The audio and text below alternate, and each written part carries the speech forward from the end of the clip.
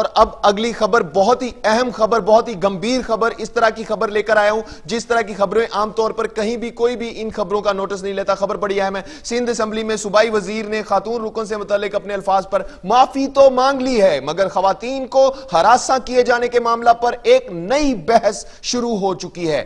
اس خواتین کو ہراساں کیے جانے کا ہمارے ملک میں یہ جو سبجیکٹ ہے، یہ بہت ہی گمبیر ہوتا جا رہا ہے، یہ بہت ہی فکر انگیز ہوتا جا رہا ہے اور اس حوالے سے بات کرنے کے لیے ہمیں ایک بہت ہی اہم سلیبریٹی نے جوائن کیا ہے۔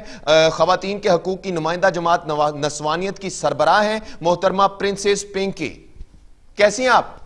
میں بالکل ٹھیک ہوں۔ دیکھو کتنی خوبصورت لگ رہی ہوں ہے نا؟ جی بالکل خوبصورت لگ رہی ہے پرنسس پنکی کیا ضرورت محسوس پڑ گئی آپ کو کہ آپ نے ایک اور جماعت بنا دی نسوانیت کے نام سے خواتین کے حقوق کی علمبردار؟ کیا ضرورت پڑ گئی تھی آپ کو؟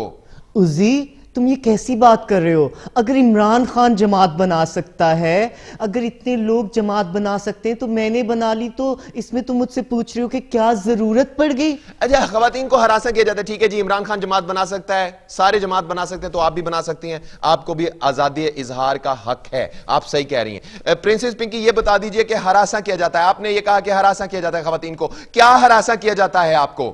ہراسا تم کی کیا بات کر رہے ہو؟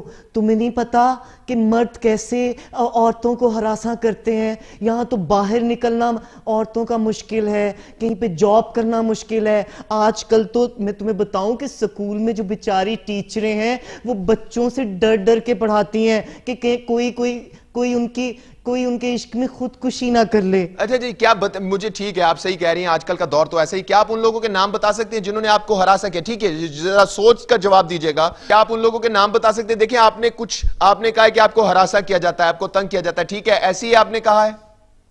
بالکل میں نے ایسے تو کچھ لوگوں کے نام بتائیں گی آپ کچھ لوگوں کے نام میڈیا پر بتائیے کون آپ کو تنگ کرتے ہیں؟ سب مرد میں کس کس کا نام بتاؤں؟ سارے مرد۔ کس کس کا نام بتاؤں؟ عزی تمہیں کیا معلوم؟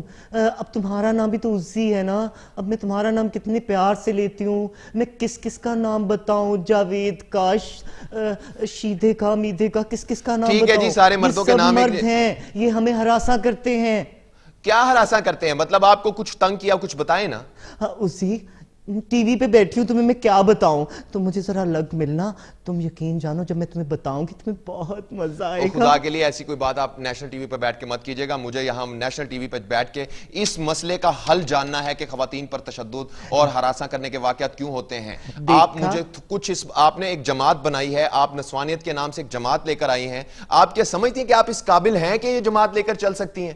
عزی تم کیسی باتیں کرتے ہو؟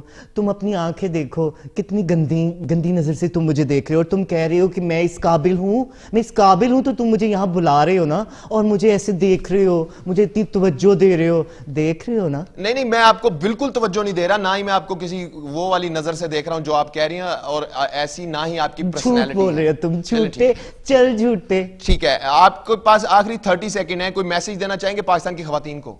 میں میسیج یہ دینا چاہتی ہوں کہ جتنے بھی مرد ہیں ان سے بچ کے رہیں اور اپنے آپ اگر سارے مردوں سے خواتین بچ کے رہیں گی تو مردوں کا کیا بنے گا؟ آپ کچھ تو خیال کریں۔ مرد مجھے ایک آنکھ نہیں باتتے بالکل بھی بالکل بھی۔ مجھے تم بھی بالکل تھوڑے تھوڑے برے لگ رہے ہو۔ اب تم پوچھو گے میں تم تھوڑے تھوڑے کیوں برے لگ رہے ہو؟ جی پوچھوں گا۔ کیونکہ تم تھوڑے تھوڑے اچھے بھی ہو۔ بہت شکریہ نسوانیت کی سربراہ ہمارے ساتھ موجود تھی، پرنسس پنکی، بڑی کمپریہنسیولی انہوں نے بتایا کہ ان کو ہراساں کیا جاتا ہے۔